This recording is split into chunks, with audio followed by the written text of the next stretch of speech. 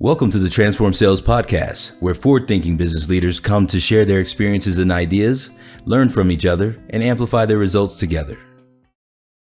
Hey guys, Amir Reiter with the Transform Sales Podcast. I got my guest, Ben Goldberg, CEO. How's it going, Ben? Great, great. Thank you for being on. Thank you for being on our show. Yeah, glad to be here. Thanks for the invite. Looking forward to today's conversation. Love, love the name Sales Gig. I'm like, it tells you exactly what you do just by the name.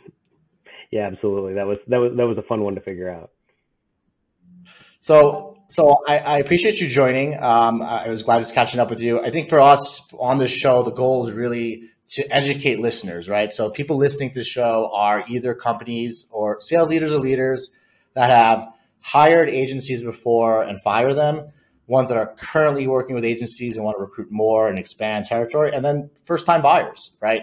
So the idea here is to be super transparent and actually talk about the uncomfortable things, the mistakes people make with the idea that they can learn and not make the same mistakes that buyers have made over and over again because we are talking about revenue and revenue is super sensitive. Um, and the idea is just to help both buyers and sellers uh, play nice with each other. Before we get into that, love to hear your story. Love to hear how you got into the industry and how you founded SalesGig. Great. Well, first, thanks for thanks for the invite.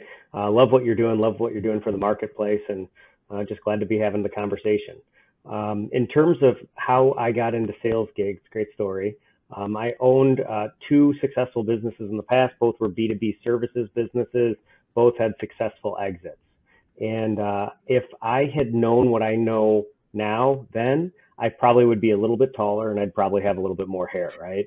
Um, I, I sold my last company to a large organization. It was a platform acquisition and I watched how they took a very sophisticated sales development organization with the right sales enablement tools, the right sales tech stack, the right sales training team, and turned an SDR shop into a really successful growth engine for what was my company. And it was it just impressed me. Um, and we scaled the business exponentially over the three years that I was uh, leading that organization through their through their team. Um, and so when I left, um, I wasn't ready to retire, and I wasn't ready to um, start a consulting business, I saw what we did and I said, boy, you know, if I knew now what I knew then, um, and I can share that back with other small business owners, entrepreneurs, organizations, and help them build build that in their organization, that would be successful. That would be good. And so that's what we set out to do. And so Sales Gig started off um, building our first clients, doing outbound lead generation using LinkedIn email calling to set appointments for companies and built that into a successful business that we scaled today. And it's been, it's just been a really fun ride. We've been doing it for about three years now. So basically, you you you you built a business development engine that was able to build valuation for a company that you sold, right? Mm-hmm. And then you saw that you had this process, you were an expert at it, and then you took the process you made that built the success and made it into a service. Correct, and fractionalized it, right? Because small to mid-sized organizations can't afford what an enterprise organization needs. And so what we did is we funded the enterprise level tech stack and data tools and systems and processes and training, and then we fractionalize it back to back to organizations so that they can scale up their own organizations. And truth, I'm like, it, make, it makes sense. I'm like, people go out there trying to hire VPs of sales, CROs, people who have the experience in a world that's changing so fast, but they have access to people like Ben Goldberg that actually have exits under their resume and that they can be hired at a fraction of the price through a service. But yet they're like, we don't outsource. Yeah, right. We hire VPs.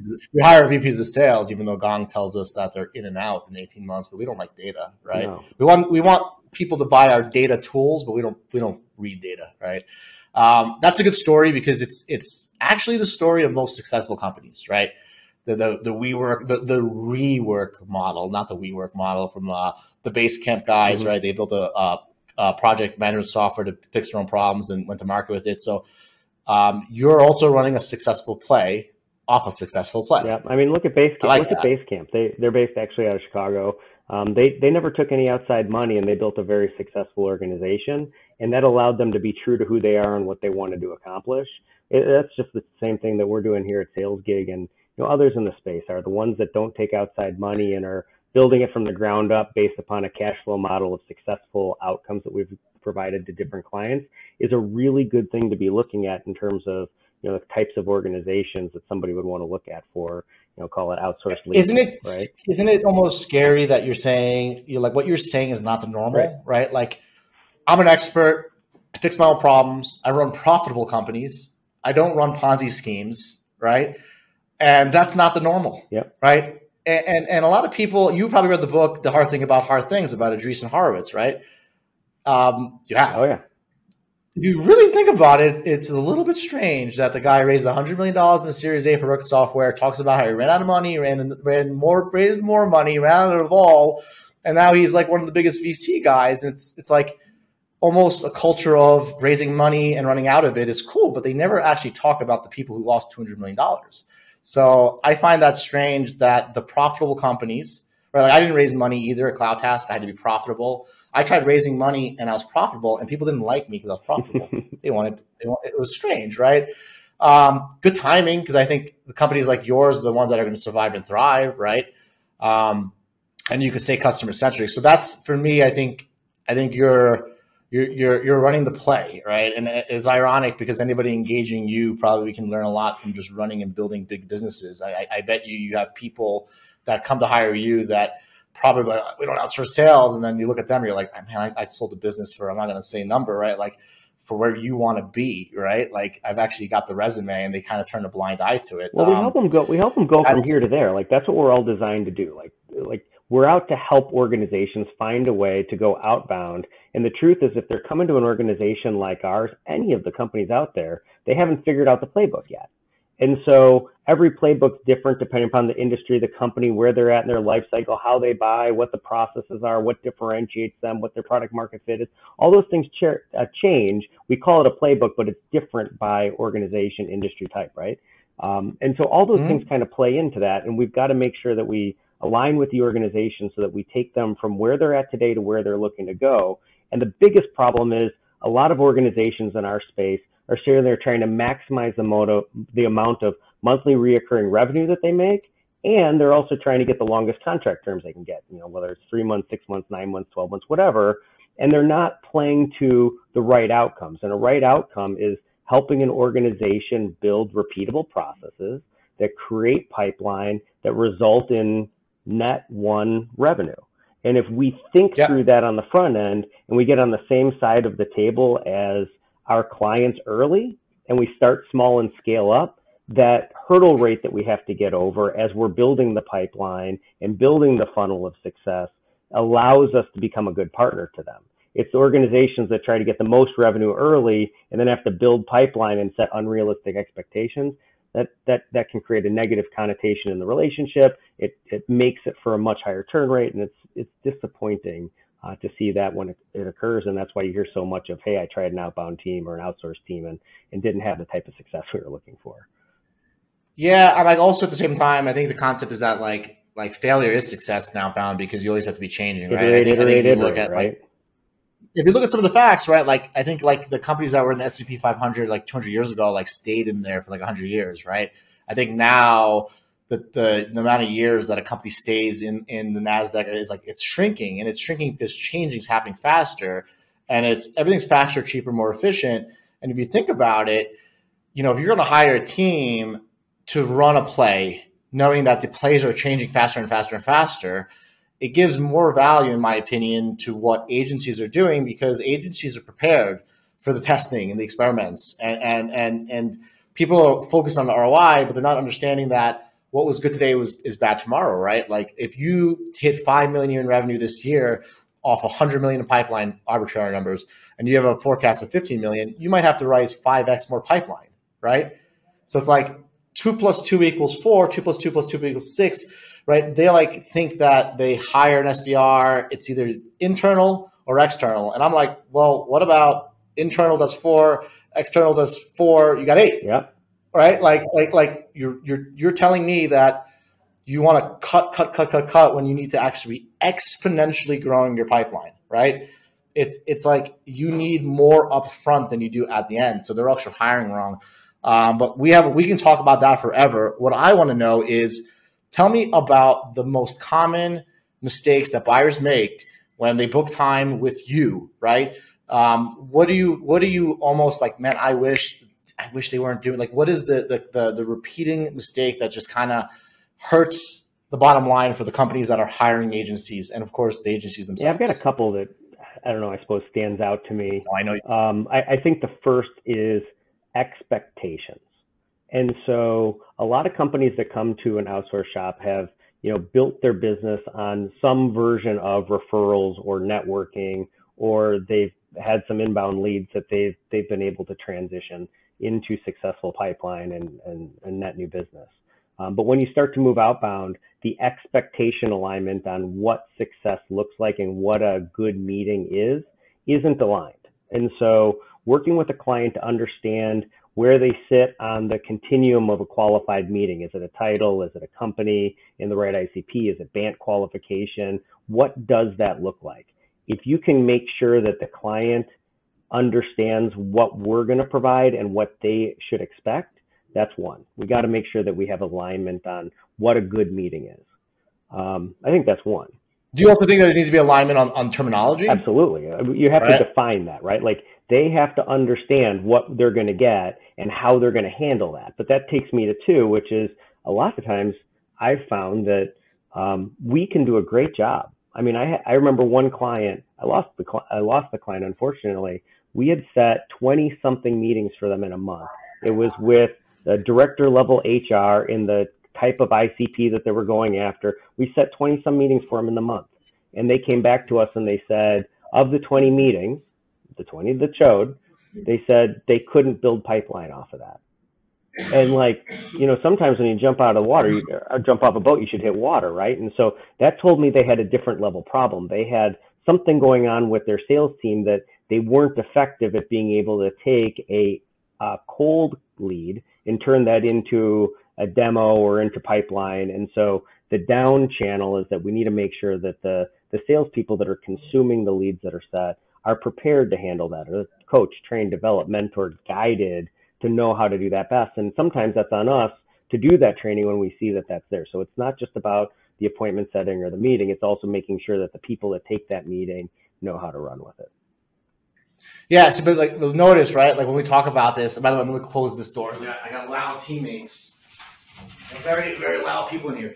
It, it's interesting because even the way you speak about that the problem you flow in from a buying issue to an operational issue right? And that shows where your mind is because as agency owners not one agency owner cares about winning your business. They all care about keeping it. Correct. Bottom line. Yeah. bottom line it costs a lot of money to run up a program and if you guys end up not working with an agency for three to six months it's not profitable. So you could see how he answers the question. It's already more about the feedback that you get right it's almost as if what they're hiring isn't just somebody to make meetings. What they're hiring is a top of the funnel mechanism to dish out meetings, to hear feedback back, and to make adjustments, right?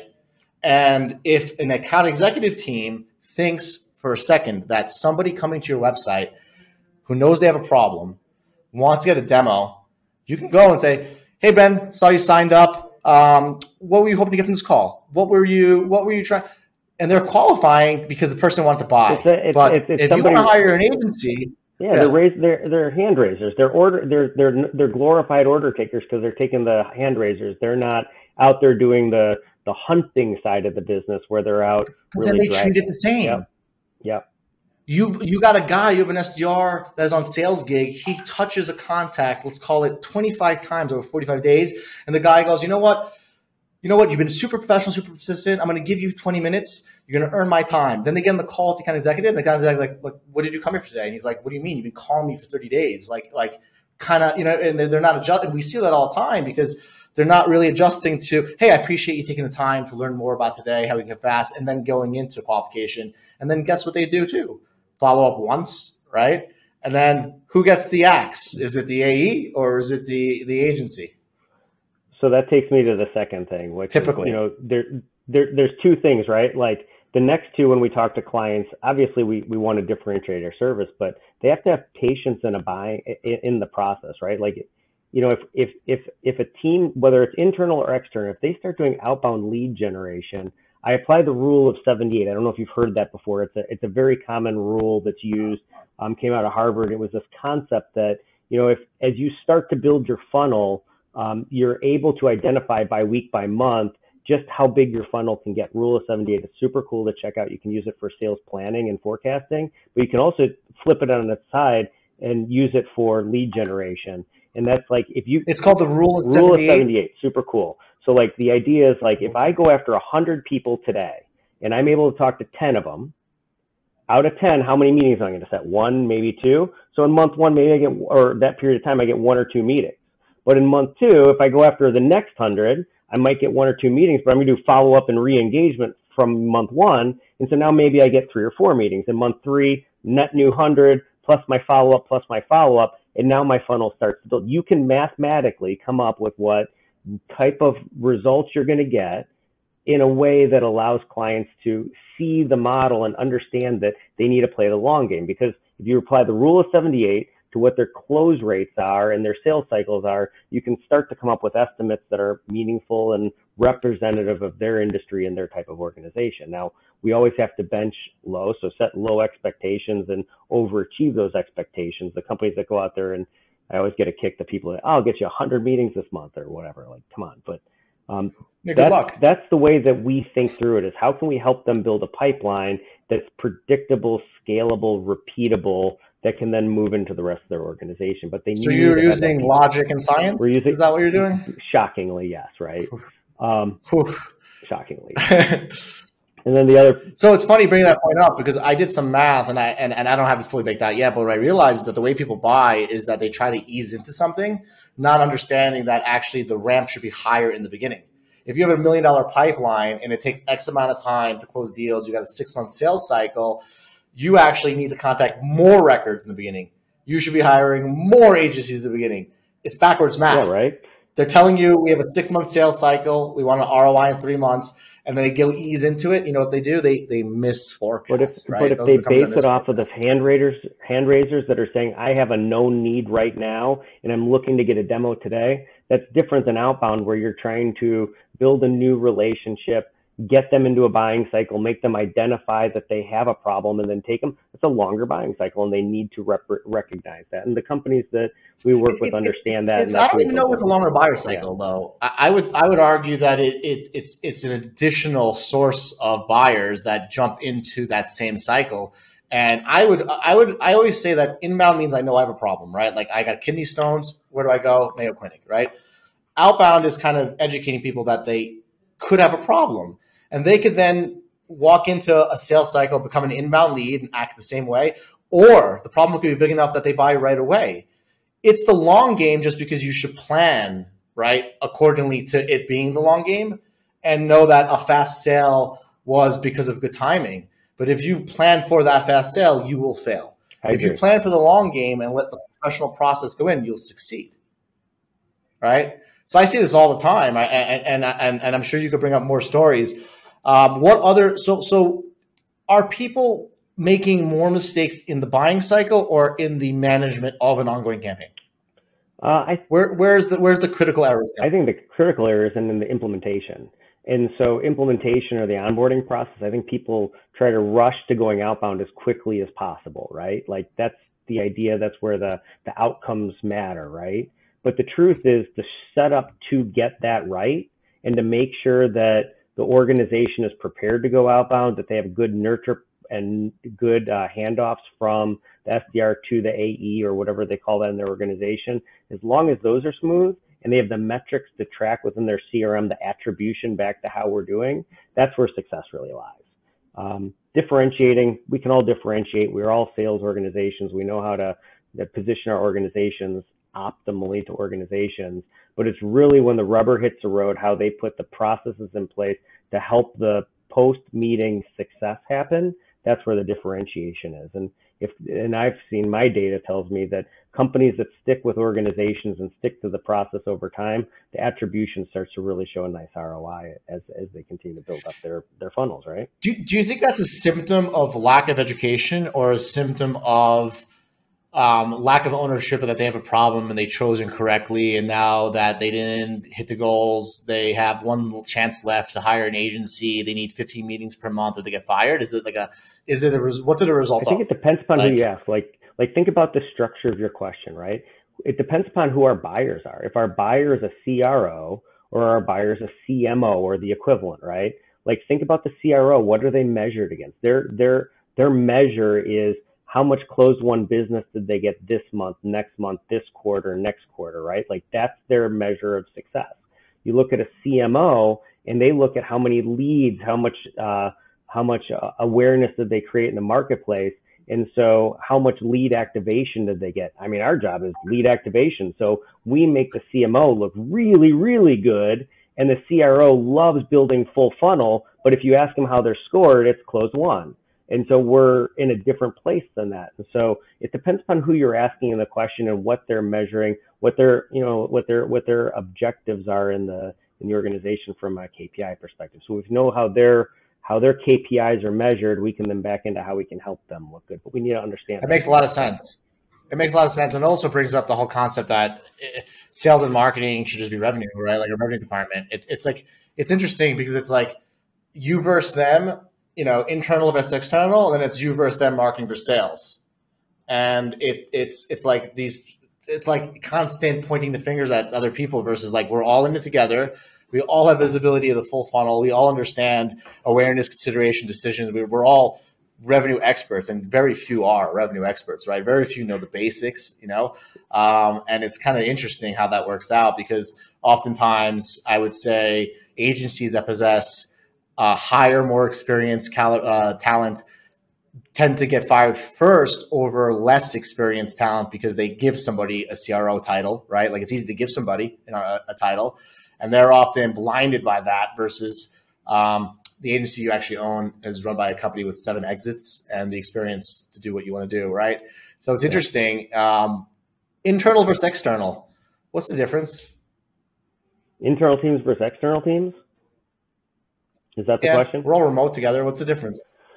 Yeah, you know, um, I, I think it's expertise, right? Like if, if you're an internal team, you need to make sure that you have the the structure both from the tech perspective, from the data perspective, from the coaching, developing, mentoring, guiding perspective to make them effective. If you have that internally, then you know that's not a bad option to go, right? Um, the benefit to an organization like ours is access to capacity, right? Um, and then comparing best practices. Going external, a great option for that is if you're looking to move quickly, if you're looking to build your own internal system and you want to learn, an organization like ours is dead set on one goal, which is putting the right people, process, and technology in place in order to get that production system happening. We know how to iterate, we know how to leverage data, we know how to build messaging structures, we know how to drive feedback loops to get more better outcomes for clients. And so the answer to the question is it's on a case by case basis depending upon the organization. So some organizations, we are an extension of their internal team. Um, we have other organizations where they're we're the complete outsourced team because that's where they're at in their stage of their the life cycle of of their sales and marketing organization. And so I, I think it depends on a case by case. You know what my my uh my, my, what I see I, I I consider anyone I give money to and a duty to do to be internal. Like if you have a clone of my DNA, maybe you're internal, like you're my clone. But other than that, if I give you a thousand dollars and I expect something, I don't care if you're a W two, 1099 contractor, freelancer, agency, you're my internal mm-hmm. team. I've had W two employees leave me in a day. I've had agencies last me for 10 years, right? Um, so it's like for me, I almost feel like these words are designed to distract us from the goals, right? Um, outsourcing's bad; they're taking our jobs. Well, um, that's a common thing you hear when people are outsourcing to like China or India, but uh, Ben is in Chicago, all American jobs, yeah. right? Does that still have the same outsourcing condition? I don't think so. Um, so it's interesting. I think the, the borders will come down between outsourcing and inside, and, and, people will realize that for every dollar spent, accountability needs to be held on that dollar. Like, I don't know if you saw this video from a day of the life of a Twitter employee. Oh. She posted on uh, YouTube, and it was like, it was like, I started off my day with the yoga uh, thing, and then I got my green macchiato, and then I had like one meeting, and then I was stressed, and I went to the decompression room, and I'm like, this is insane. Like that's a W two making 200k. You know what I mean? And then the agency that's working for Twitter is getting the shit yelled at them, working 24 hours a night, and it's just people are taking advantage of the what's created, right? The distraction, and and then both sides are taking advantage of it. But those days are over.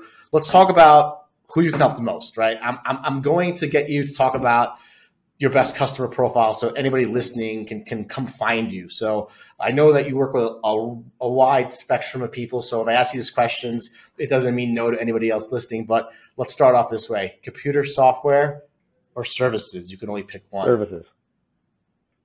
Okay. Service company, startup, Series A, private equity, public. Uh, startup to small business.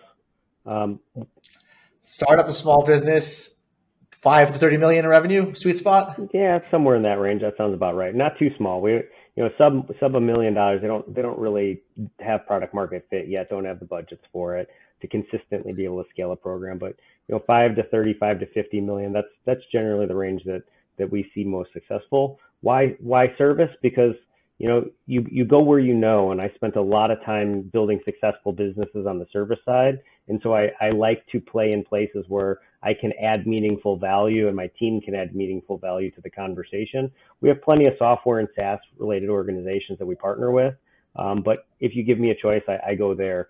I would also say the other thing to ask a question on is who their buyer personas are. Like, like it, we talk a lot about industries or who are their buyer personas? Right. Who, who, we talk about the segment, right? So like, are, are they selling to HR, operations, accounting, finance? Like, we should make sure that there's, there's that they know the best ways to engage at the buyer level and the industries that their customers are in, not the industries they're necessarily in. I think that plays a critical role in success outcomes.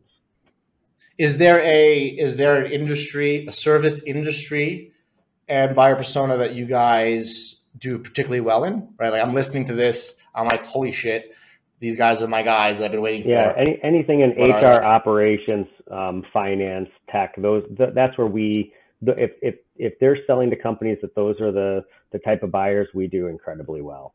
Um, the one you said HR first, right? Did you say that intentionally? Uh, it's just because that's the types of organizations that that I used to sell into and I know pretty well. And through our organization, we've built quite. A That sounds like a reason why I want to work with you. Yeah, right. There's nothing wrong with that, right? Yeah. I think that's. I think that's. I think that's. Um, I think that's a reason why. Um, you know, we as CloudTask, when we listen to people's needs, we're going to be listening for for that to then bring them to you. That's our job. I'm an SDR, guys. By the way, I'm an SDR for Ben.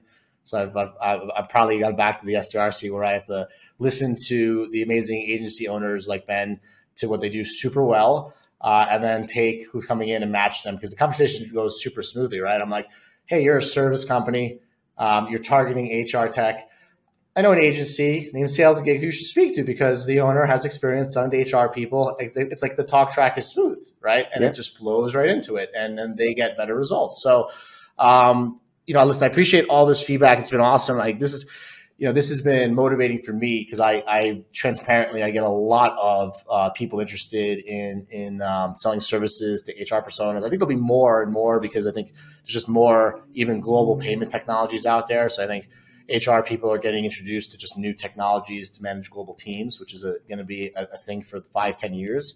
Um, and I, I look forward to helping those people find you. Anybody who's listening to this, how can they contact you? How can they book a meeting with you? Where can they find you? Yeah, great question. So uh, they can go out to salesgig.com. Uh, all the contact information flows to our team, including my contact information's up there, um, or you know my email ben at salesgig.com uh, is an easy way to email me uh, for for more information. And you know I'm I'm pretty easy to get a hold of uh, by design, and would always welcome that type of a conversation. I I appreciate you setting up today's conversation. I enjoyed it, um, and and I hope that the folks that listened got some value. No, the, the, the, first of many. You're the expert. Our job is just to give you an audience. We want people to just listen and, and learn so that they can hit goals. I'm like, look, no, there's no high five at winning a deal. There's a high five when they're like, I sold my business. Thank you, Ben. Right. So the high five is not at the beginning; it's at the end, and I know that too because of my service days, and I and and it's easy to read in your energy. I appreciate you being a guest on the Transform Sales podcast, and guys, Ben at SalesGigs.com. Check out his website um, and reach out to him and he'll help you. Ben, thanks, man. I appreciate it. Take Thank care. You, appreciate it.